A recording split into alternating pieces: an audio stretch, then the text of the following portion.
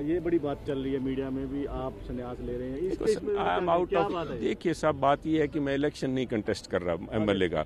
और मैं I am out of electoral politics अब मैं आज तीन दिनों में अड़सठ साल का हो जाऊँगा साहब।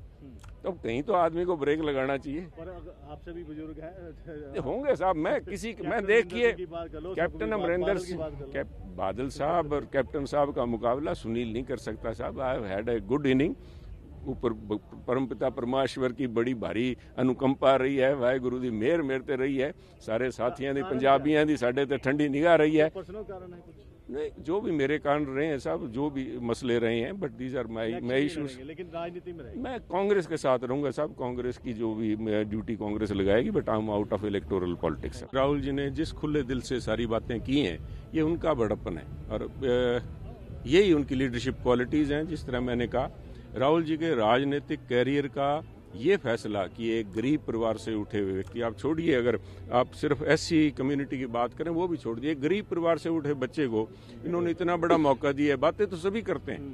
करके कौन दिखाता है जिसके दिल के अंदर गरीब के लिए दर्द झलकता हो, वो उन्होंने दिखाया